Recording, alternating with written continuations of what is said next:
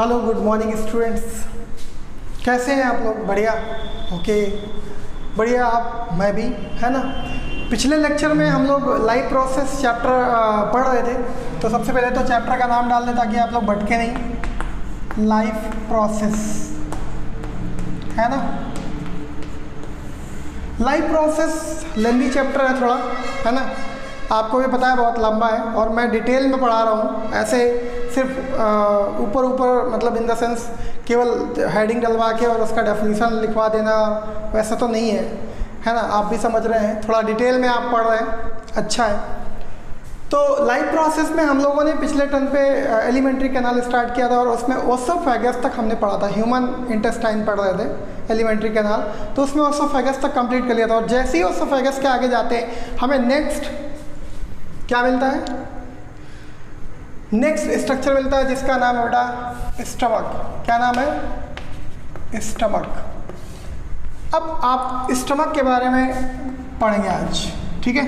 तो स्टमक बेटा, अगर बोलते हैं कि ये स्टमक है, इसके अंदर स्टमक है, अलग तरीके तरीके की बातें होती हैं, है ना? लेकिन एक्चुअल में इसका लोकेशन क्या है? इसका लोकेशन है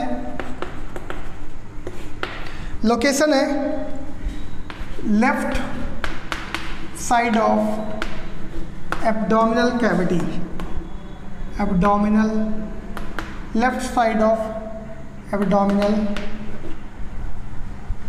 या इन लिख दो left side in abdominal cavity है ना?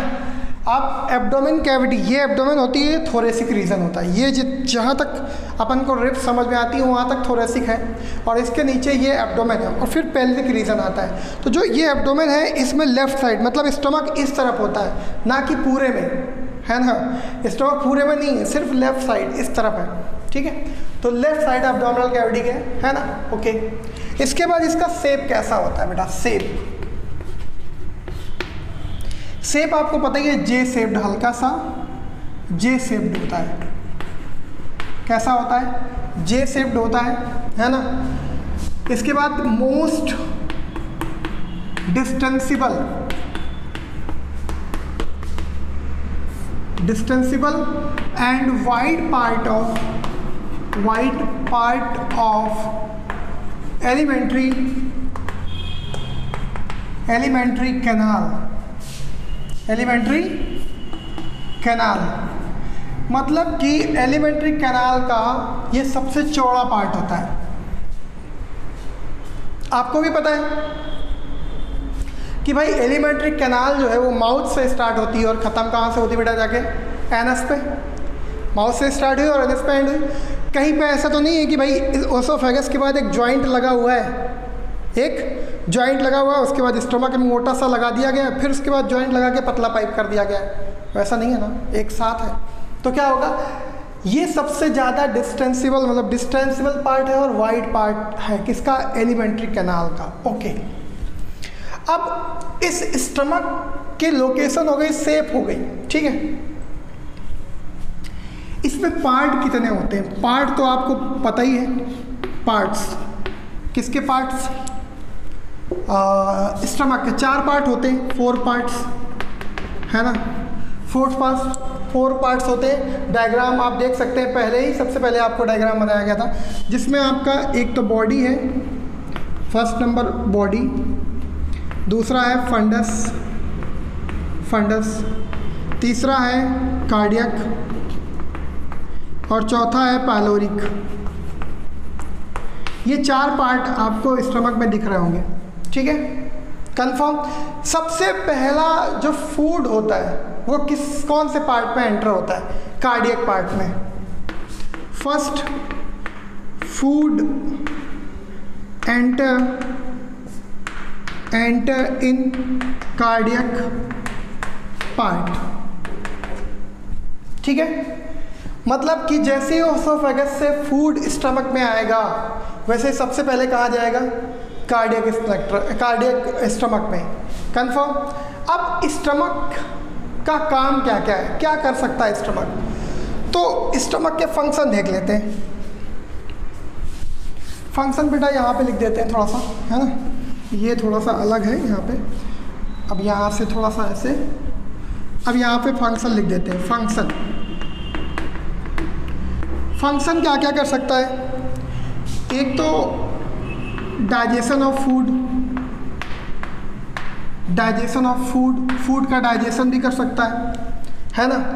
दूसरा कामा और क्या कर सकता है? किलिंग ऑफ़ जम्स स्टमक में किलिंग ऑफ़ जम्स होता है। जम्स किल होते हैं। है ना? इसके बाद और क्या है? Storage of food storage of food है ना? लेकिन ये कैसा टेम्परेरी टेम्पोरेरी मतलब ये हमेशा के लिए कंफर्म भाई ये हमेशा के लिए थोड़ी स्टोर करके रखेगा। अगर हमेशा के लिए स्टोर कर ले तो आप तो सबसे अच्छे हो जाओगे ना। है कि नहीं? भूख नहीं लगेगी एक बार खा लिया तो स्टोर है, सालों साल। वैसा नहीं। टेम्प्रेरी स्टोर करता है फ़ूड को, है ना? और क्या करता है बेटा? और क्या करता है? Churning of food churning of food मतलब उसमें बहुत सारे एंजाइम्स और एस मिला देता है, जिसकी वजह से फ़ूड जो होता है वो हल्का सा सॉफ्ट है ना, नरम हो जाता है और उसको डाइजेशन में आसानी होती है। फिर और क्या करता है?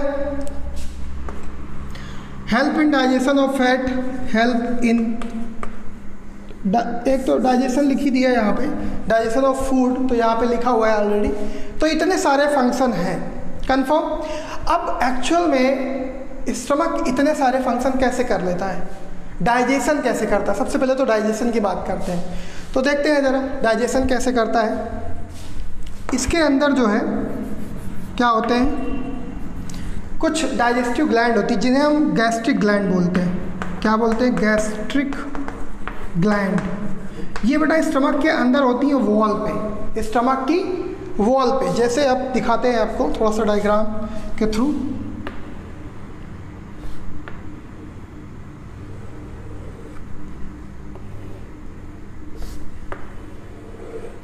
कुछ इस तरीके के डायग्राम है।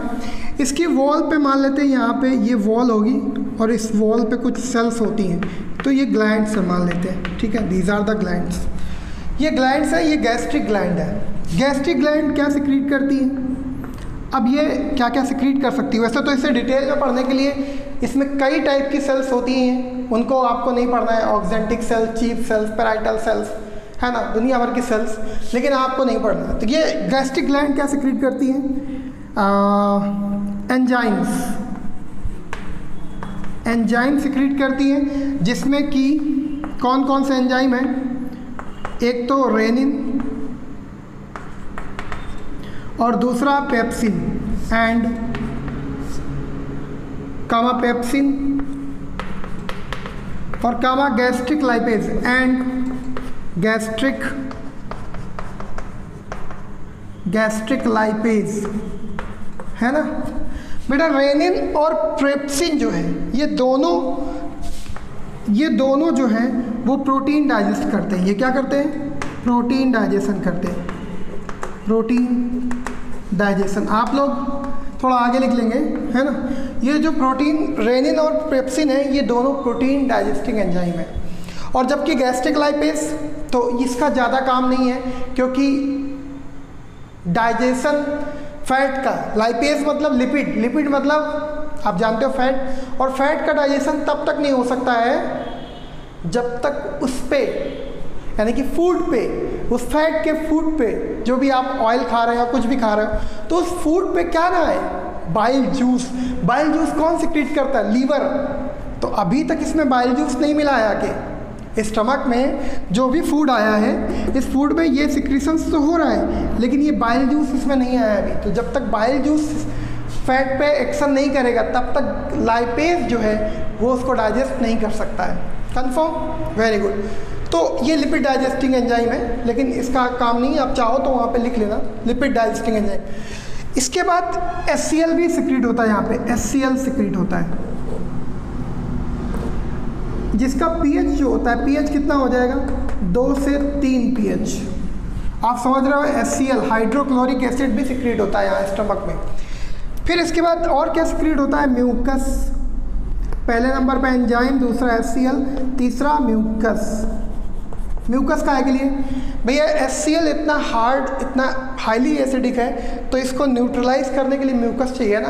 तो म्यूकस भी सिक्रेट होता है। ओके तो यहाँ पे क्या क्या हमको मिला? यहाँ पे हमको मिला यहाँ पे हमारे पास फ़ूड है बहुत सारा। तो हमें आ, फ़ूड मिला। यहाँ पे फ़ूड है प्लस एस सी एल है इसमें मिल गया। एस सी एल निकल रहा है तो एस सी एल भी मिलेगा। कंफर्म फिर क्या मिलेगा? प्लस पेप्सिन ऑब्लिक रेनिन इन दोनों में कोई भी है ना? पेप्सिन ऑब्लिक रेनिन इसके बाद फिर food plus S C L plus pepsin oblique renin plus gastric lipase इसका काम नहीं है लेकिन ये फिर भी उसमें जाएगा बहुत बहुत आ, बहुत कम क्वांटिटी में लाइपेस और प्लस म्यूकस है ना? इतनी सारी चीज़ें यहाँ पे प्रेजेंट है। कहाँ पे बेटा? इस स्टमक में। ये सारी चीज़ें। और जब ये फ़ूड इतनी सारी चीज़ों के साथ मिक्स रहता है तो this type of food is also known as this food food called क्या बोलते हैं इसे कॉल्ड काइम बोलते हैं। क्या बोलते हैं बेटा? Chyme. C H Y M E इस एसिडिक फ़ूड को, क्योंकि इसमें एस मिल गया है। इस एसिडिक फ़ूड को हम लोग क्या बोलते हैं? कायम बोलते हैं। कंफर्म बेटा तो अभी स्टमक में और भी पढ़ना है। नोट करें। अब बेटा स्टमक में जो भी एंजाइम्स निकल रहे हैं या जो भी निकल रहा है तो उसे हम टोटल मिला के क्या बोलते हैं? गैस्ट्रिक जूस गैस्ट्रिक जूस में क्या क्या हो सकता है? है ना? आपसे पूछा जा सकता है कि गैस्ट्रिक जूस इक्वल्स टू क्या होगा? तो गैस्ट्रिक जूस क्या हो सकता है? सबसे पहले तो आपका एस प्लस पेप्सिन या रेनिन जो भी है है ना? रेनिन बेटा इसलिए क्योंकि ये सिक्स मंथ तक बेबी जब पैदा होता है, उसके छः महीने तक ये रेनिन निकलता है। ये केवल मिल्क को डाइजेस्ट करता है और उसके बाद जैसे ही फ़ूड खा, बच्चा खाना खाना स्टार्ट करता है, वैसे ही पेप्सिन रिलीज़ होता है। पेप्सिन का पीएच थोड़ा मतलब पेप्सिन के पीएच में थोड़ा सा मतलब ज़्यादा पीएच में रहता है एक्टिवेट होता है और रेनिन थोड़ा कम पीएच में। कम इन द सेंस मतलब हाईली एसिडिक में कौन होगा? पेप्सिन क्योंकि तब थोड़ा बच्चा बड़ा हो जाता है फ़ूड खाना स्टार्ट करता है तो पेप्सिन निकलता है। और जब उसकी स्टमक की लाइनिंग बहुत कोमल होती है छः महीने तक डेलिकेट होती है तो उस समय रेनिन है ना? इसके बाद क्या होगा बेटा? म्यूकस होगा। म्यूकस सबसे ज़्यादा निकलता है प्लस लाइपेज कौन सा स्टमक से निकल रहा है? इसलिए गैस्ट्रिक लाइपेज तो ये गैस्ट्रिक जूस का कंपोजिशन है। अब बेटा ये क्या करता है? सीएल किल जम्स है ना? क्योंकि भाई आपके फ़ूड में जो भी जर्म्स आ रहे हैं, क्योंकि आप कई सारे फूड्स खा लिए, उसमें कुछ उल्टा सीधा हुआ तो एस क्या करेगा? हाइड्रोक्लोरिक एसिड उसको मार देगा किल जर्म्स अब साथ ही साथ अगर आप जानते हो कि एस का पीएच कितना होता है? दो से तीन पीएच होता है. टू टू थ्री पीएच तो इतना ज़्यादा एसिडिक है तो हमारे स्टमक की वॉल ख़राब क्यों नहीं होती है? ऐसे गलती क्यों नहीं है? ऐसे खाना बाहर क्यों नहीं आता है? उसका रीज़न है। देखो म्यूकस यहाँ पे बड़ा इंपॉर्टेंट रोल करता है। म्यूकस क्या करता है? म्यूकस प्रिवेंट प्रिवेंट मतलब बचाता है। क्या करता है? प्रिवेंट म्यूकस प्रिवेंट स्टमक ले wall layer stomach wall layer from corroding corroding by corrosion होता है ना कोरोजन वैसे कोरोडिंग बाय एस है ना? एस से जो वॉल ख़राब होने वाली होती है, उससे ये म्यूकस जो है, वो प्रिवेंट कर देता है। किससे प्रिवेंट करता है? कोरोडिंग बाय एस है ना? उससे बचा लेता है। क्योंकि एससीएल बहुत थोड़े अमाउंट में निकला, वैसे उसके जस्ट पीछे कौन निकल आता है? म्यूकस। तो क्या होता है, जैसे ये वॉल है, इसमें एससीएल निकला, अब एस निकलेगा तो क्या होगा? वो फ़ूड में मिक्स होगा, उसके बाद इसकी पूरी वॉल पे अगर वो फ़ूड अटैच हो जाए और म्यूकस ना निकले तो क्या होगा? पूरी वॉल की वॉल डिजनाइट हो जाएगी। है ना? आप भी समझ रहे हो? तो उसी टाइम पे बहुत सारा म्यूकस सिक्रेट हो जाता है, जिससे क्या होता है कि उसकी एसिडिटी थोड़ी सी कम हो जाती है।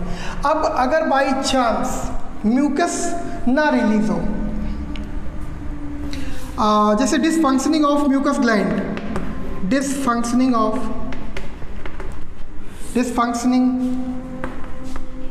of mucus gland mucus gland mucus gland में डिसफंक्शनिंग हो गई या फिर low mucus secretion low mucus low मतलब इस जगह लो मत लिखो insufficient insufficient mucus secretion mucus secretion secretion dysfunction of mucus gland और इनसफिशियंट म्यूकस सिक्रीशन कॉज क्या कॉज कर सकता है बेटा? अगर कम म्यूकस सिक्रेट हो तो क्या कॉज करेगा? कॉज गैस्ट्रिक अल्सर यानी कि stomach ulcer stomach cause stomach stomach wound wound मतलब घाव, है ना? स्टमक के अंदर घाव पैदा कर सकता है, जिसे हम लोग बोलते हैं गैस्ट्रिक अल्सर क्या बोलते हैं? गैस्ट्रिक अल्सर समझे कि नहीं? गैस्ट्रिक अल्सर कंफर्म ओके फिर गैस्ट्रिक अल्सर कॉज कर सकता है, या फिर एसिडिटी कॉज कर सकता है है ना? और भी बहुत सारी चीज़ें एक्सेट्रा ठीक है? इस तरीके से। एस के यहाँ पे बेटा और काम है, जैसे किल जम्स और एंजाइम्स को एक्टिवेट करता है। एक्टिवेट एंजाइम्स एंजाइम्स को एक्टिवेट करता है क्यों?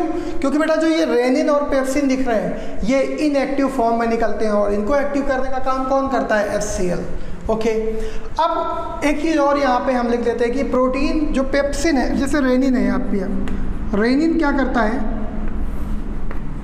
रेनिन जो है मिल्क प्रोटीन को डाइजेस्ट करेगा। मिल्क प्रोटीन को।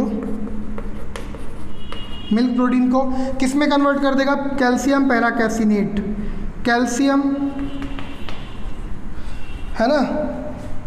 सॉरी यहाँ पे मिल्क प्रोटीन नहीं। एक सेकेंड आप मिल्क प्रोटीन मिल्क को यहाँ रखो और ऊपर रखो रेनिन है ना? कैल्शियम पैराकैसिनेट में कन्वर्ट कर देगा, पैराकैसिनेट। और ये जो कैसिनेट होता है, वो कर्ड लाइक होता है। कैसा बेटा?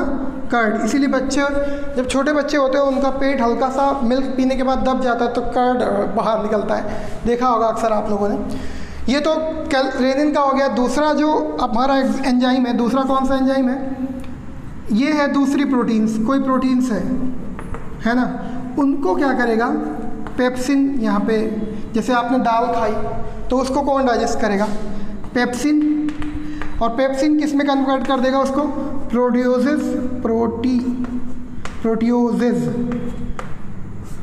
plus peptone में कन्वर्ट करता है पेप्टोन है ना? हमने आपको बताया था कि प्रोटीन जो होती है, वो किससे बनी होती है? अमीनो एसिड से।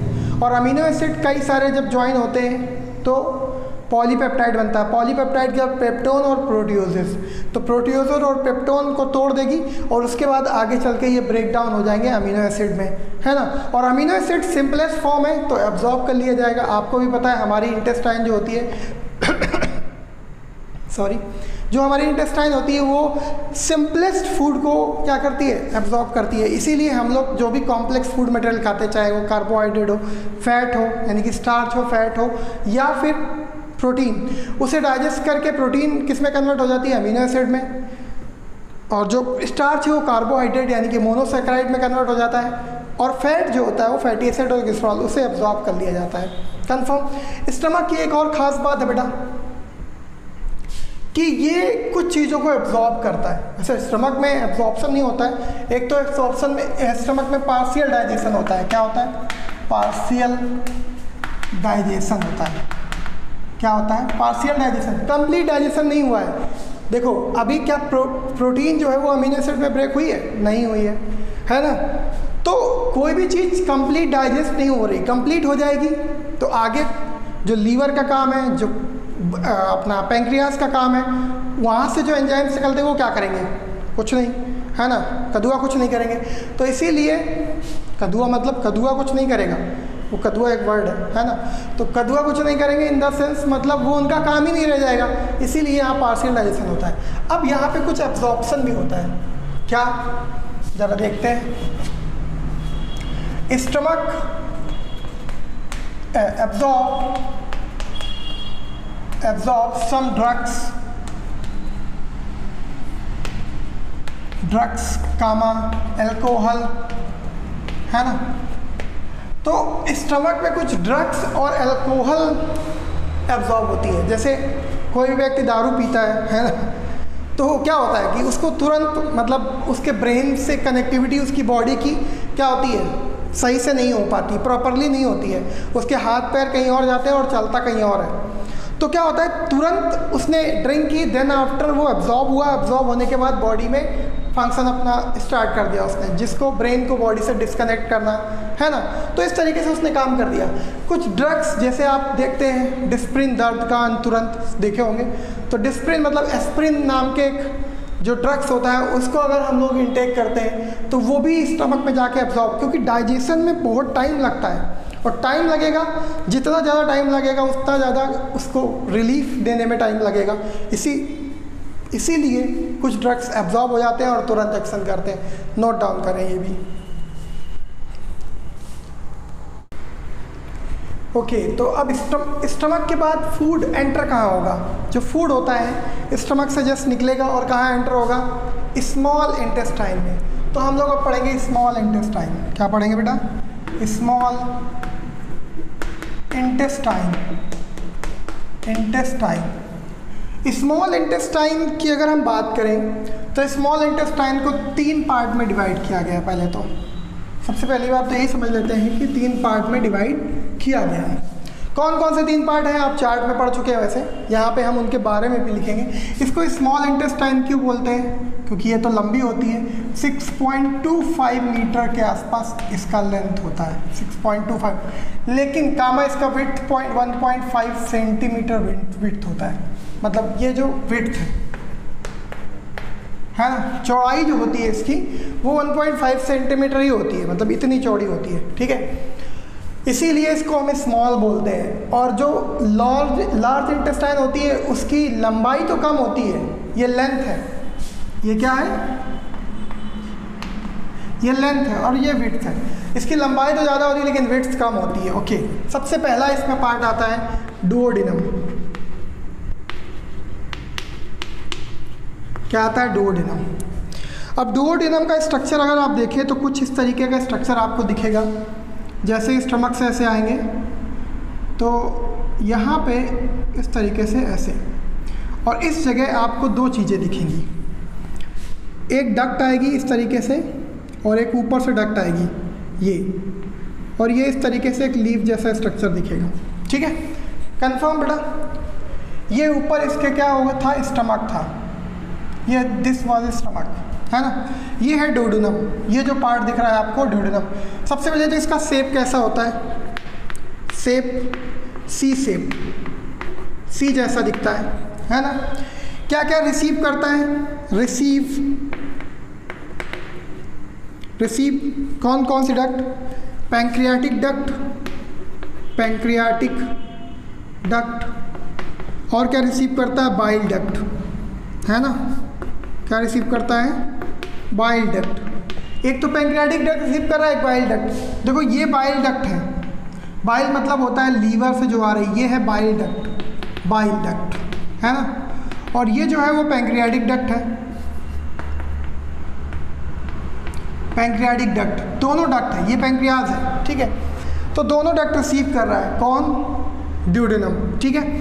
प्लस यहाँ पे कुछ इंटेस्टाइनल ग्लैंड्स होती हैं। इंटेस्टाइनल ग्लैंड्स प्रेजेंट होती हैं। इंटेस्टाइनल ग्लैंड्स जो होती हैं, वो क्या सिक्रीट करती हैं? Secrete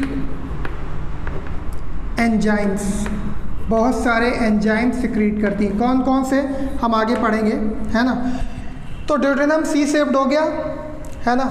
अब इसके बाद फ़ूड, जैसे ही स्टमक से रिसीव फ़ूड फ्रॉम स्टमक भी लिख सकते हो, यहाँ पे, एक सेकेंड और रिसीव यहाँ पे लिख दो।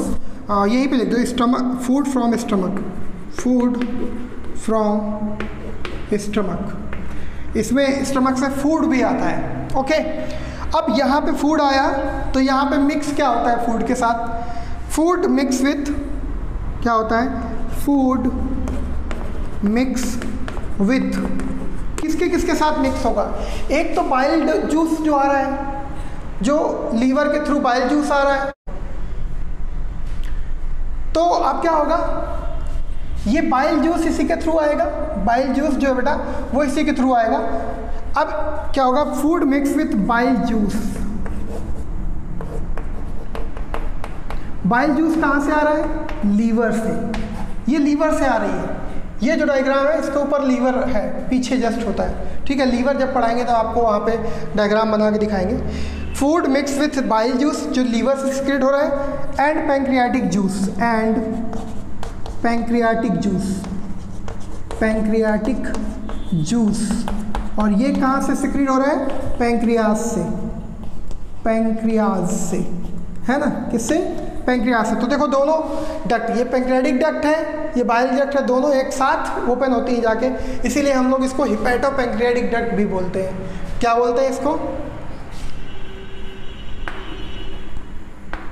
इसको बोलते हैं हम लोग हिपैटो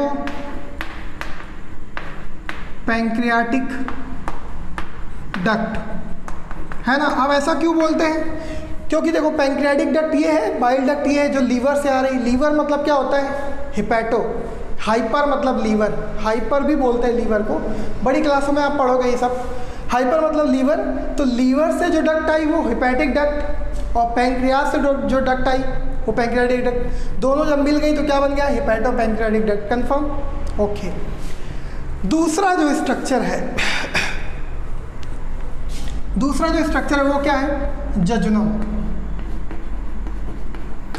जजुनम ठीक है? ड्यूडेनम जजुनम ठीक है?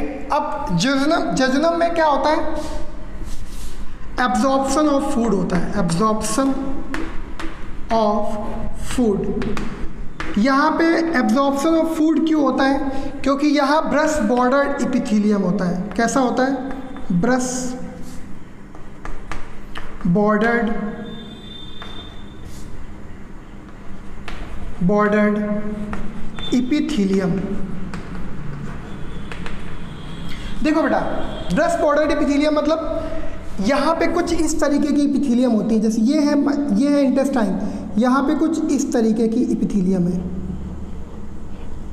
ये देखो ब्रश, जैसा आप ब्रश देखते हो, वैसी इपिथीलियम होती है यहाँ पे।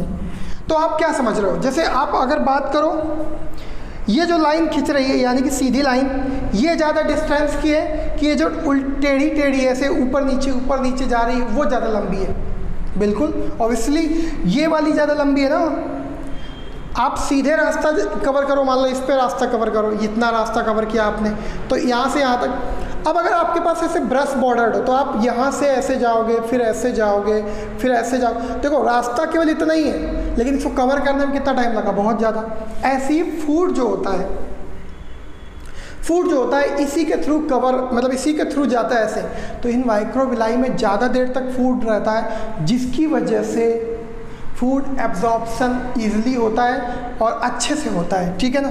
तो इनका काम ब्रश बॉर्डर डिपिथिलियम जिसे हम माइक्रोविलाई बोलते हैं, क्या बोलते हैं? माइक्रोविलाई और ये माइक्रोविलाई जो होती है बेटा, इनका मेन काम होता है माइक्रोविलाई का एब्जॉर्प्शन ऑफ़ फ़ूड लिख दिया है मैंने, ऊपर ही लिख दिया है है ना? एब्जॉर्प्शन ऑफ़ फ़ूड जजुनम का यही काम है। लास्ट आता है बेटा, इलियम।